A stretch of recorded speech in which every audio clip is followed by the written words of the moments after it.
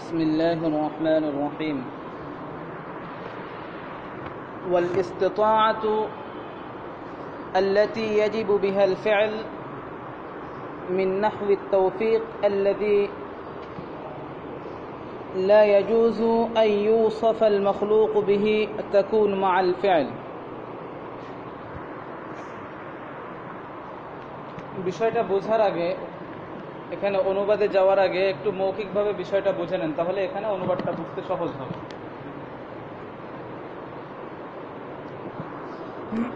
আমরা যে কর্মগুলো সম্পাদন করি, সেটা ভালো হোক বা মন্দ, এখানে দুইটা বিষয় থাকে। এক হলো, আমরা যেটাকে ব্যক্ত করে থাকি তৌফিক নামে। আমাদের কর্মসক্ষমতা রয়েছে, শরীরে শক্তি রয়েছে সব কিছু রয়েছে, কিন্তু আল্লাহ তৌফিক নেই। অনেক মানুষকে আল্লাহ তালা সম্পদ দিয়েছেন, সুস্থতা দিয়েছেন সব কিছু দিয়েছেন, কিন্তু হজ করতে পারেনি। তৌফিক তার সামিলে হাল হয়নি।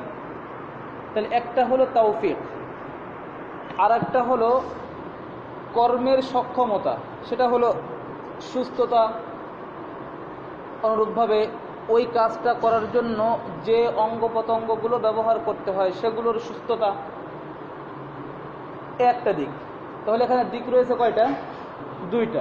এগুলো ঠিক থাকলেই যে আপনি কাজ করতে পারবেন, ভালো কাজ বা মন্দ কাজ, এটা না। ঠিক থাকলেও কি অনেকে করতে পারে না। সলাতের সক্ষমতা রয়েছে। সবাই সালাত করতে পারছে? সবাই সালাত করতে পারছে না। তো এখানে এটাকে দুইটা ভাগে, এই যে দুইটা ভাগ করলাম, এই দুইটা ভাগে এখানে ভাগ করবে। দেখেন, ওয়াল ইস্তেতাআতুল্লাতি ইয়াজিবু বিহাল সেই শক্তি যা দ্বারা বান্দা কর্ম সম্পাদন করে। মিন নাহহি মিন তৌফিক এবং যেটি আল্লাহর তৌফিকের অন্তর্ভুক্ত, যেটি আল্লাহর তৌফিকের অন্তর্ভুক্ত। আল্লাদি লা আল এখানে আই যদি এই ব্র্যাকেটের মাঝে যে শব্দ রয়েছে, যে দুটা শব্দ রয়েছে ইয়াজুজু আন যদি এভাবে পড়া হয় একসঙ্গে মিলাই তাহলে পড়তে হবে লা ইয়াজুজু আন ইউসফা অন্যথায় পড়তে হবে লা ইউ ইউসফু যদি এটা বাদ দিয়ে দেওয়া হয়, অর্থ কিন্তু একই হবে। যখন লা ইয়াজুজু বলা হচ্ছে, তখন লা ইয়াজুজু মানে বৈধ হবে না। লা ইয়াজুজু মানে বৈধ হবে না লা ইয়াজুজু আই ইউসফা আল মখলুক বিহি অর্থাৎ তা কোনো বান্দার গুণ হতে পারে না তাহলে লা ইউসফুল মখলুক বি কোনো মখলুককে এই গুণে গুণান্বিত করা যাবে না অর্থাৎ কোনো মখলুকের ক্ষমতা নেই যে সে কী করবে কাউকে কাউকে কাজের তৌফিক দিবে এটা কোনো মখলুকের কি নেই? সক্ষমতা নেই। মাল ফেল। তাকুন মাল ফেল। আর এই সক্ষমতাটা হয়ে থাকে কর্ম সম্পাদন করার সময়। কর্ম যখন সম্পাদন করছে, ঠিক তখনই এই সক্ষমতাটা তার সঙ্গে কি হয়? যুক্ত হয়। অর্থাৎ সলাত আদায় করছে। এই সলাত আদায় করতেছে তো এই তৌফিকটা কি হলো? তার সঙ্গে যুক্ত হলো। তাহলে এটা হবে যখন সে কর্ম সম্পাদন করছে সে ওই সময়টাই ও আম্মাল ইস্তেতা, আর দ্বিতীয় প্রকার। وأما الاستطاعة من جهة الصحة والوسع والتمكن وسلامة الآلات فهي قبل الفعل বলছে ওয়াম্মাল ইস্তেতাআত মিন জিহাতি সিহা আর আরেকটা প্রকার সক্ষমতা মিন জিহাতি সিহা যেটা বান্দার সুস্থতা ওয়াল ওয়াসঈ এবং কাজ করার শক্তি ওয়াত্তামাক্কুনি সক্ষমতা ও সালামাতিল আলাত। সালামাত মানে নিরাপদ থাকা। আলাত মানে অঙ্গ প্রত্যঙ্গ বা যার দ্বারা কাজটা সম্পাদন করতে হবে, সেই বিষয়গুলো নিরাপদ থাকা। তাহলে অঙ্গ প্রত্যঙ্গগুলো কী থাকা? আমলের প্রয়োজনীয় অঙ্গ প্রত্যঙ্গ ঠিক থাকা। এটা থাকবে ফাহিয়া কবল আল এটা কর্ম সম্পাদনের পূর্বে তার ভিতর থাকতে হবে। বুঝে এসছে? কর্ম সম্পাদনের পূর্বেই কি হতে হবে? তার ভিতর থাকতে হবে। তাহলে এক প্রকার সক্ষমতা যেটা আমরা ব্যক্ত করে থাকি তৌফিক নামে। অর্থাৎ আল্লাহ তৌফিক বলে থাকি। যদি আল্লাহ তৌফিক দিয়ে থাকেন। তো আল্লাহর তৌফিক যখন সামিল হাল হবে, আল্লাহর তৌফিক যখন বান্দার সঙ্গে যুক্ত হবে, তখন বান্দা কি করতে পারছে? এটা যুক্ত হয় কখন? যখন বান্দা কাজটা কি করছে? সম্পাদন করছে। আর এক প্রকার সক্ষমতা সেটা হলো বান্দার সুস্থতা, বান্দার শারীরিক সক্ষমতা থাকা এই যে বিষয়গুলো, তো এগুলো থাকতে হবে কর্ম সম্পাদনের পূর্বে কর্ম সম্পাদনের পূর্বে। বলতেছে, ওয়াবিমা আল্লাকুল খিতাব আর এগুলো সুস্থতার উপর বান্দার মোকাল্লাফ হওয়াটা নির্ভর করে। মানে শরিয়াতের বিধান তার উপর প্রয়োগ হবে কি হবে না, এটা নির্ভর করে হচ্ছে এইগুলোর উপর। বুঝতে পেরেছেন? তাহলে বান্দার সুস্থতা, অসুস্থতার উপর নির্ভর করে কি? শরিয়াতের আদেশ নিষেধ তার উপর কি হবে? প্রয়োগ হবে কি হবে না? এই শরিয়াতের মুকাল্লাফ কি মুকাল্লাফ না এখন? শরিয়াতের আদেশ নিষেধ তার উপর এখন কার্যকর হবে কি হবে না? এগুলো নির্ভর করে কিসের উপর? নির্ভর করে বান্দার সুস্থতা, অসুস্থতা, বান্দার কর্মসক্ষমতা, বান্দার শারীরিক যে শক্তি বা যে অঙ্গ প্রত্যঙ্গের মাধ্যমে এই কাজটা সম্পাদন করতে হবে, সেই অঙ্গ প্রত্যঙ্গগুলো কী থাকা? ঠিক থাকা। তো এর মাধ্যমেই বান্দাকে কি করা হয়ে থাকে? মোকাল্লাফ করা হয়ে থাকে বা শরিয়াতের কি করা হয়ে থাকে? যে শরিয়াতের বিধান তার উপর প্রয়োগ হয়ে থাকে। বুঝে আসছে? কারণ এর বিপরীতটার উপর হয় না। এর বিপরীত মানে আল্লাহ তৌফিকের উপর হয় না। কারণ আল্লাহ তৌফিক আমার সামের হাল আছে কি না, এটা আমি জানি না। তাহলে আমি সুস্থ রয়েছি। আমি এখন সুস্থ রয়েছি, আমি সলাতের জন্য আমার কি রয়েছে? সক্ষমতা রয়েছে? বেশ আমি শরিয়াতের মুকাল্লাফ। এখন আমি সম্পাদন করতে পারব কি পারব না? এই চিন্তা করার দায়িত্ব আমার না। যে আল্লাহ যদি আমাকে তৌফিক দেন, তাহলে আল্লাহ আমার দ্বারা পড়াই নেবেন। না, এটা না। যে আল্লাহ যদি আমাকে জান্নাত হিসেবে লিখে রাখেন, তাহলে আল্লাহ আমাকে তাকে জান্নাত একই করবেন, জান্নাতের কাজ করাই নেবেন না। এটা আমার দায়িত্ব না। তো আমার আমি শরীয়তের মোকাল্লাফ হয়ে যাচ্ছি যখন আমার ওই কর্ম সম্পাদনের জন্য যা কিছু শক্তি লাগবে, এই শক্তি আমার রয়েছে কিনা, এই সক্ষমতা আমাকে দেওয়া হয়েছে কিনা, যা কর্ম সম্পাদনের পূর্বেই আমার ভিতর থাকতে হবে। যখনই কর্ম সম্পদ আমি মসজিদে আসব, আসার মতো সক্ষমতা আমার ভিতর আছে কিনা, যখন আমার ভিতর আসার মতো সক্ষমতা রয়েছে, আমি শরীয়তের মোকাল্লাফ। আপনি এখন এই কথা বলে ঘরে বসে থাকতে পারবেন না বা আমি এ কথা বলে ঘরে বসে থাকতে পারব না যে আল্লাহ আমাকে নিয়ে যাক। আল্লাহ আমাকে কি করুক? আল্লাহ আমাকে নিয়ে যাক। আল্লাহ যা লিখে রাখছেন তাই তো হবে। আমি মসজিদে যাব কি যাব না, আল্লাহ যা লিখে রাখছেন তাই তো হবে। না, এটা না। আমার, আমি শরীয়তের মোকাল্লাফ হয়েছে কিসের ভিত্তিতে? যে আমার এই অঙ্গ প্রত্যঙ্গগুলো সুস্থ রয়েছে এবং আমার এই কর্মটা সম্পাদন, মসজিদে আসার মতো এই সক্ষমতা আমাকে দেওয়া হয়েছে, সেই শক্তি রয়েছে। ব্যাস, বুঝতে হবে আমার উপর শরীয়তের বিধান এখন কি হবে, প্রয়োগ হবে। এখন এগুলো থাকার পরেও আমি করতে পারব কি পারব না, এটা আল্লাহর তৌফিকের অন্তর্ভুক্ত। এটা আমার দায়িত্ব না, এই গুণে কোনো বান্দাকে গুণান্বিত করা যাবে না। বুঝে আসছে বিষয়টা?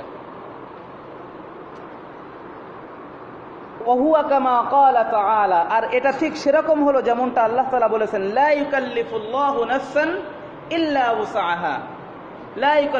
তিনি কারও উপর তার সামর্থ্যের অতিরিক্ত দায়িত্ব কি করেন? চাপিয়ে দেন না।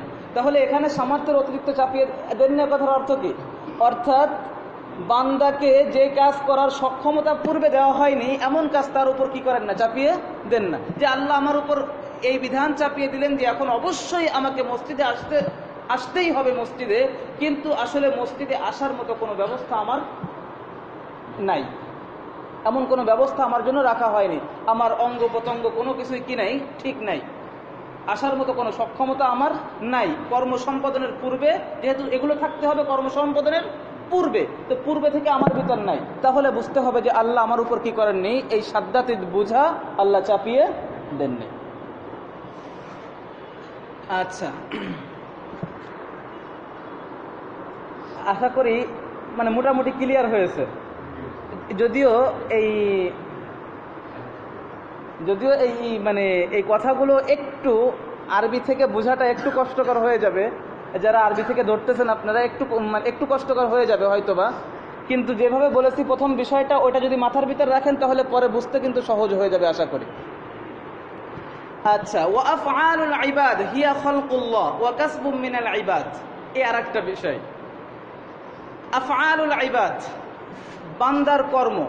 আমরা যে কাজগুলো করে থাকি, আমার এই যে দর্শ করা এখানে, আপনাদের দর্শ শোনার জন্য বসা। এই যে বান্দার কাজগুলো, আমাদের সালাদ এই যে বান্দার কর্মটা, মূল কর্মটা, এই কর্ম আল্লাহ তাআলা সৃষ্টি করেছেন। মূল কর্মটা কার সৃষ্টি? আল্লাহর সৃষ্টি। বান্দা হচ্ছেন কাসেব বান্দা হচ্ছেন এই কাজের, কাজটাকে তিনি উপার্জন করলেন। এই কাজটাকে তিনি কেমন যেন সম্পাদনের মাধ্যমে নিজের আয়ত্তে নিয়ে নিলেন। এখন যদি সেটা ভালো কিছু হয়, তাহলে নিজের আমল নামায় ভালো কিছু অ্যাড করলেন।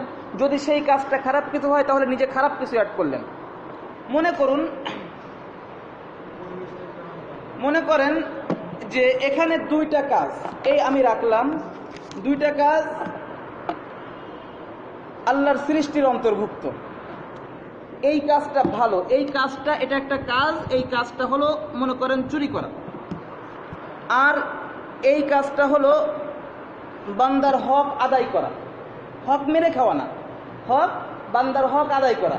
তাহলে বান্দার হক আদায় করা একটা কাজ, আর চুরি করা আর একটা কাজ। এই উভয়টা কাজ আল্লাহ সৃষ্টি করেছেন। উভয়টা কাজ কে সৃষ্টি করেছেন? মূল কাজের স্রষ্টা। এখন আমি এই কাজটা করেছি।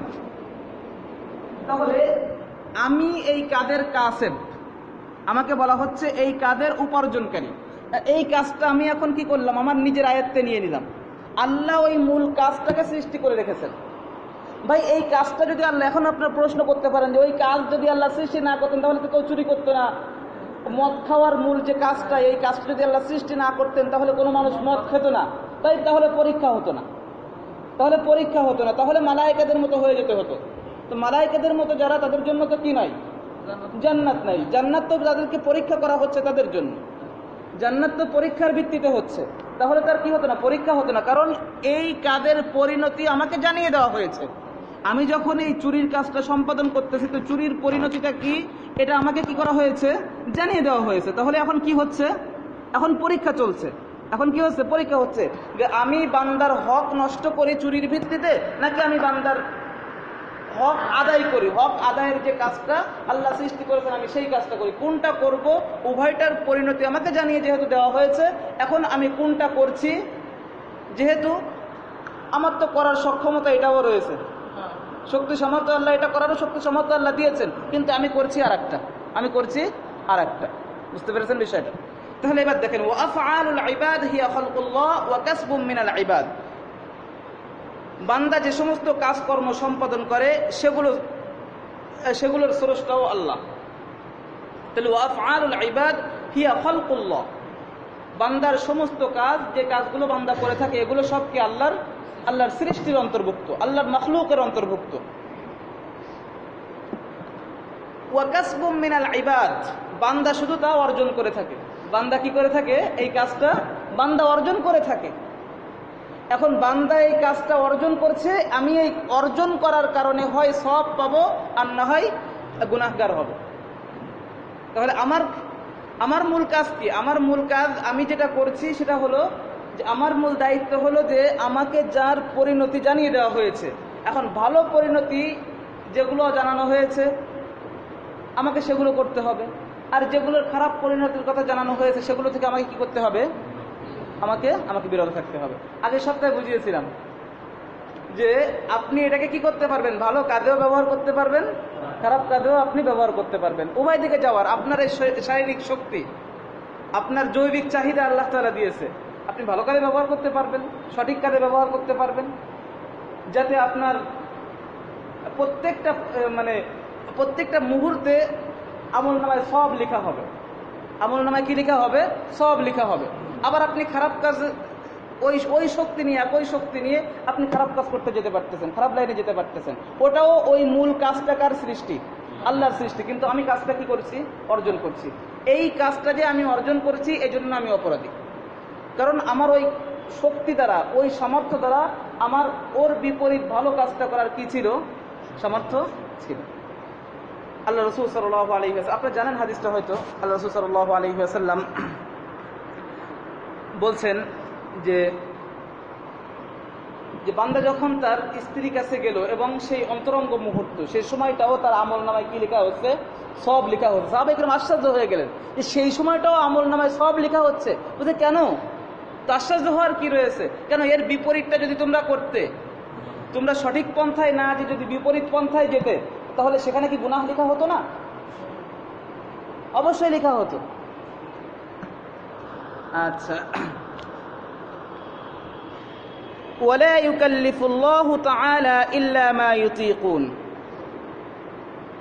ولا يكلف الله تعالى إلا ما يطيقون আল্লাহ তাআলা তার বান্দার উপর তাদের যে সামর্থ্য তার অধিক দায়িত্বভার ন্যস্ত করেন না দায়িত্বভার চাপিয়ে দেন না লা ও এটা আমার একটু ভুল হয়ে গেছে ওয়ালাম ইউকাল্লিফ হ্যাঁ ওয়ালাম ওয়ালাম ইউকাল্লিফুহুমুল্লাহু তাআলা ইল্লা মা ইউতিকুন। ওয়ালাম ইউকাল্লিফহুমুল্লাহু তাআলা, আল্লাহ তাআলা বান্দাদের উপর দায়িত্বভার চাপিয়ে দেন না, ইল্লা মা ইউতিকুন, কেবল ততটুকুই, যতটুকু তার বান্দার সামর্থ্যের অন্তর্ভুক্ত। তাহলে বান্দার সামর্থ্যের বাহিরে এমন কোনো বিষয় আল্লাহ বান্দার উপর কি করেন না, চাপিয়ে দেন না। ওয়ালা ইউতিকুন ইল্লা মা কাল্লাফাহুম, আর আল্লাহ তাদেরকে যা করার শক্তি দিয়েছেন, তা তারা কেবল সেটাই করতে সক্ষম। মানে কথা কিন্তু ঘুরে ফিরে একই। কথার মূল উদ্দেশ্য একই, কিন্তু দুইভাবে বোঝানো হয়েছে কথাটাকে। অহুয়া তাফসিরুন, লা বিল্লাহ। আর এটাই হলো, লা ইল্লা বিল্লাহ, এই কথার তাফসির, এই কথার মূল ব্যাখ্যা। লা কুওয়াতা ইল্লা বিল্লাহ, ওই কথার তাফসির কি? এটাই। নাকুলু, আমরা বলে থাকি। নাকুলু, আমরা বলে থাকি, ও, এখানে লা হাওলা ওয়ালা কুওয়াতা ইল্লা বিল্লাহর, এটার অর্থ করে দেওয়া উচিত। তো লা হাওলা ওয়ালা কুওয়াতা ইল্লা বিল্লাহ, অর্থাৎ আল্লাহর সাহায্য ছাড়া কেউ কোনো অন্যায় কর্ম করা হতে বিরত থাকতে পারে না। আবার আল্লাহর সাহায্য ছাড়া কেউ সৎ কাজ করারও সক্ষমতা রাখে না। লা হাওলা ওয়ালা লা ওয়ালা বিল্লাহ। লা কথার অর্থ বোঝানো হচ্ছে যে মানে আল্লাহর সাহায্য ছাড়া, আল্লাহর সাহায্য ছাড়া কোনো বান্দা কোনো খারাপ কাজ থেকে বেঁচে থাকতে পারে না। ওয়ালা কুয়াতা এবং ভালো কাজের উপর শক্তি দেওয়া। ভালো কাজের যে সামর্থ্য দেওয়া, এটা আল্লাহ ছাড়া অন্য কেউ কি করতে পারে না? ভালো কাজের উপর সামর্থ্য দিতে পারে না ভালো কাজ করার শক্তি দিতে পারে না। তো আল্লাহর সাহায্য ছাড়া কেউ কোনো অন্যায় কর্ম করা হতে বা খারাপ কাজ করা হতে বিরত থাকতে পারে না, আবার আল্লাহর সাহায্য ছাড়া কেউ কোনো সৎ কাজ করার সক্ষমতাও রাখে না। এরপরে বলা হচ্ছে যে, নাকুলু, এজন্য আমরা বলি, লা হিলাতা লি আহাদিন লি যে আল্লাহ রব্বুল আলমিনের সাহায্য ছাড়া আল্লাহর কোনো নাফারমানি থেকে বেঁচে থাকার কোনো কৌশল নেই। ওই লা হাউলার ওইটারই কি করা হচ্ছে? এখানে ব্যাখ্যা করা হচ্ছে। লা হিলাতা লি আহাদিন অর্থাৎ আল্লাহর নাফারমানি হতে, আল্লাহর অবাধ্যতা হতে বেঁচে থাকার কোনো কৌশল নাই। ওয়ালা হারাকাত লি আহাদিন আন মাসিয়াতিল্লাহ, এবং কোন ইল্লা বিমাউনাতিল, ইল্লা বিমাউনাতিল্লাহ ওয়ালা হারাকাত লি আহাদিন আন মাসিয়াতিল্লাহ ইল্লা বিমাউনাতিল্লাহ এবং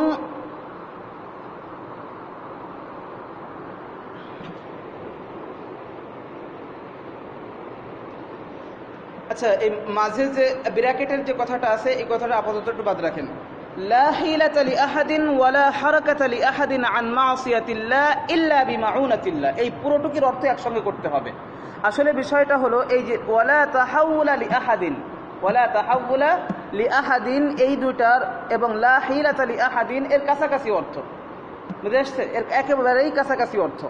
তো আমরা উভয়টাকে একসঙ্গে অর্থ করতেছি যে লা হিলাতা লি আহাদিন ওয়ালা তাহাউলা লি আহাদ যেহেতু এই কথাটা এভাবে ছিল না, অন্য নুসখাত থেকে এটা ই করা হয়েছে এক করা হয়েছে, দুইটা একসঙ্গে করে দেওয়া হয়েছে।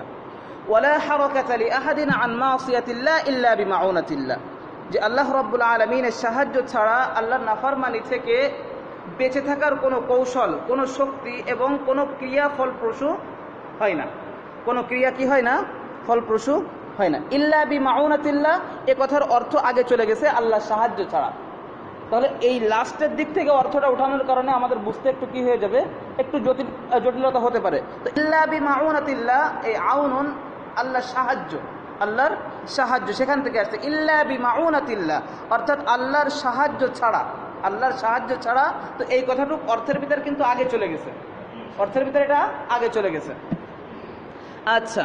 ওয়ালা ওয়ালা কুওয়াতা লি আহাদিন আলা ইকামাতি তাআতিল্লাহ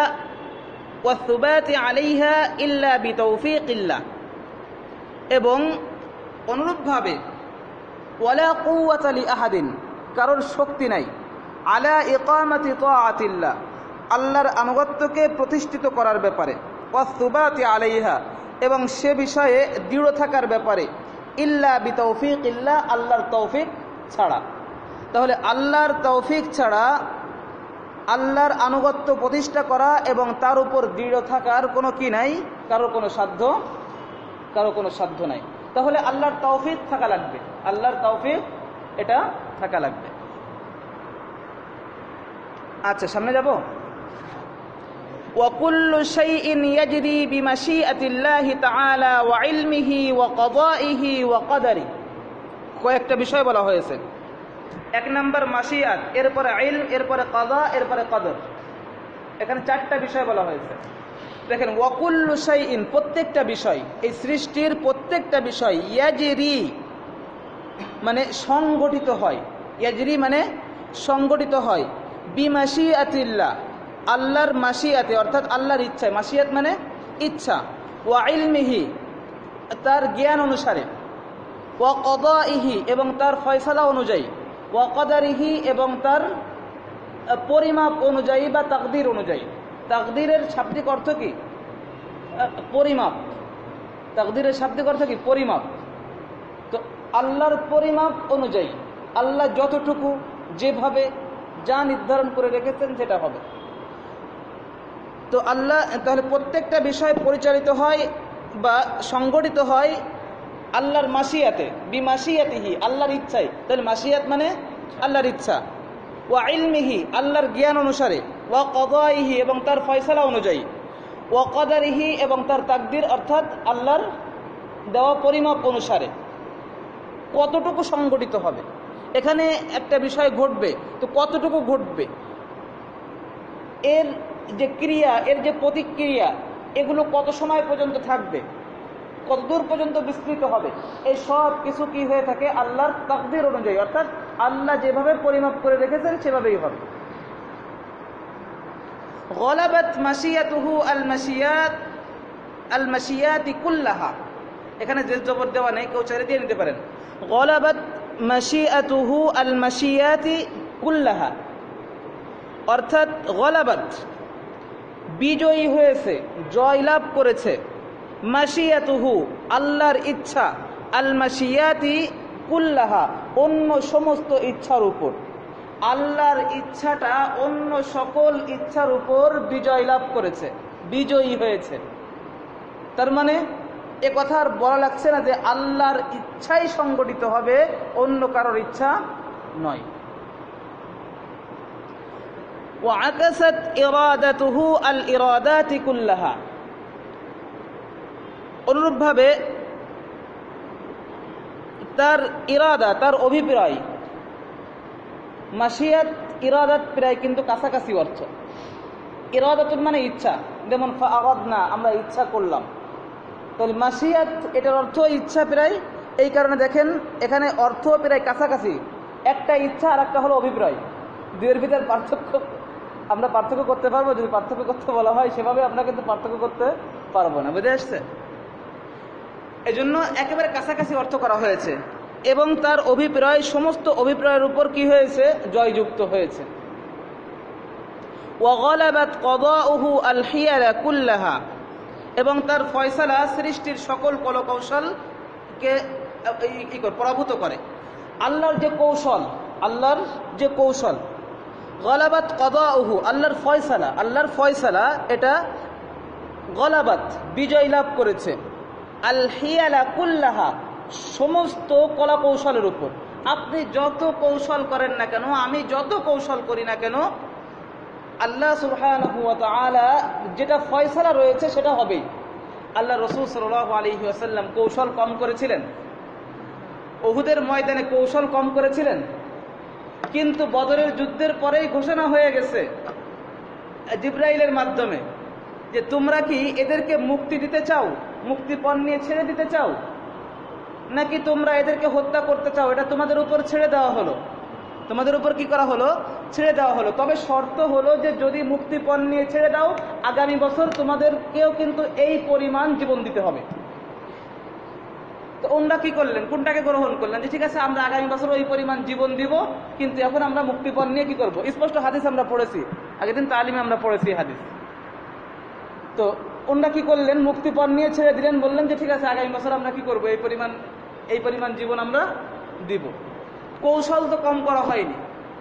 আল্লাহ নবী সাল আলী সাল্লাম কতটা মানে সমরবিদ। এটা তো এখন পর্যন্ত এই সমস্ত বিজ্ঞান, যারা এই সমস্ত ব্যাপারে পারদর্শী, তারা হয়রান হয়ে যায় কি করে বুঝতে পারলেন তিনি? যার কারণে পঞ্চাশ জন দক্ষ তীরান্দাজকে তিনি সেখানে বসাইছেন এবং এত কঠিনভাবে আদায় দিলেন যে যদি তোমরা দেখো যে আমরা পরাজিত হয়েছি এবং পাখিতে আমাদের শরীর থেকে, আমাদের দেহ থেকে টুকরা টুকরায় খাচ্ছে, আমরা সব সময় লাশ হয়ে পড়ে আছি, তাও পরবর্তী আদেশ না দেওয়া পর্যন্ত তোমরা এখান থেকে নামবে না। আবার যদি দেখো যে আমরা জয়ী হয়েছি, আমরা বিজয়ী হয়েছি এবং ওদেরকে দাওয়া করে নিয়ে যাচ্ছি, তাও তোমরা আদেশ না দেওয়া পর্যন্ত এখান থেকে নামবে না। কত কঠিনভাবে বললেন। আল্লাহর ফয়সালা, আল্লাহর তকদির, আল্লাহর মাসিয়াত, আল্লাহর ইরাদাত যেটা ছিল সেটাই হয়েছে। আল্লাহর ইরাদাত সমস্ত কলা কৌশলের উপর বিজয় লাভ করেছে। কোন কলা কৌশল কাজে আসছে? কোন কলা কৌশল কাজে আসে না। আচ্ছা তো সে কথা বলা হয়েছে ওয়াগলাবাত কদাউহু আল হিয়ালা কুল্লাহা। আল্লাহর ফয়সালা, এটা সমস্ত কলা কৌশলের উপর কি হয়েছে? বিজয়ী হয়েছে ইয়াফআলু মা ইয়াশা। তিনি যা ইচ্ছা করেন তাই করেন। এই বিষয়টা ভালো করে বোঝেন। জাকির নায়কের একটা বক্তব্যের উপর অনেকে আপত্তি তুলেছে। উনি বলেছেন যে, আল্লাহ কি করেন না? আল্লাহ সব কাজ করতে পারেন না। আল্লাহ সব কাজ, আল্লাহ সব কাজ করতে পারেন না। এর উপর আপত্তি তুলেছে কেমন কথা? আল্লাহ সব কাজ করতে পারেন না। আসলে আল্লাহ তালাকে কোরআনে কোথাও বলেছেন যে, আল্লাহ সব কাজ করেন? আমি কিন্তু পাইনি যে আল্লাহ সব কাজ করেন, এ কথা কোথাও বলা হয়েছে, আল্লাহ জুলুম করেন।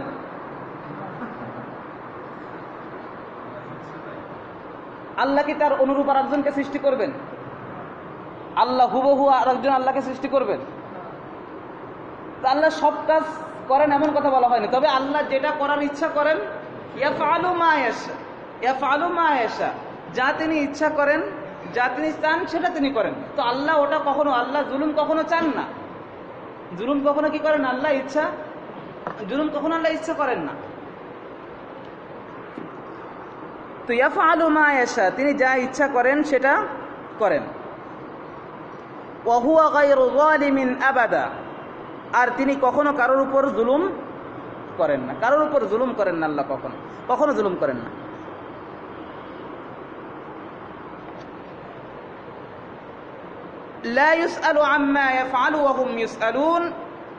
তিনি যা করেন, লা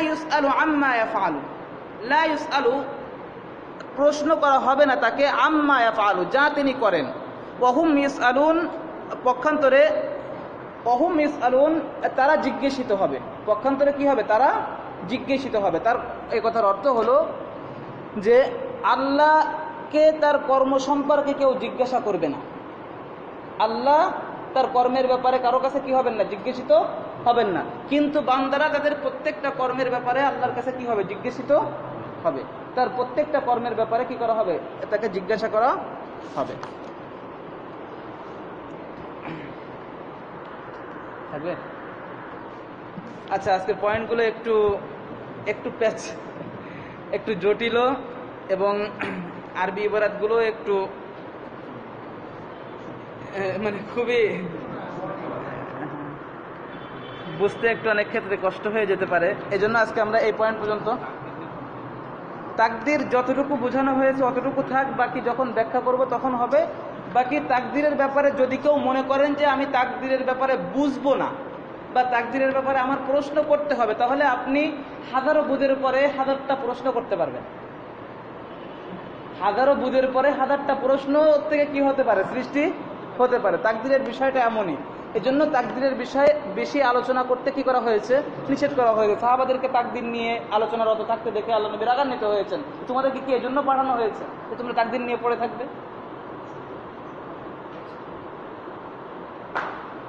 আলী আল্লাহকে জিজ্ঞাসা করা হয়েছিল, বলছি না, যে মাল কাদের, যে তাকদির কি জিনিস?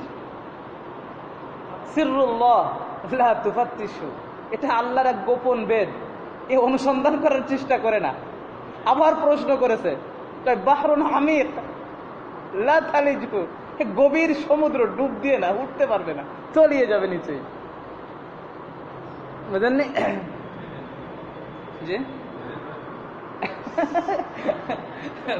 মারে ভেদে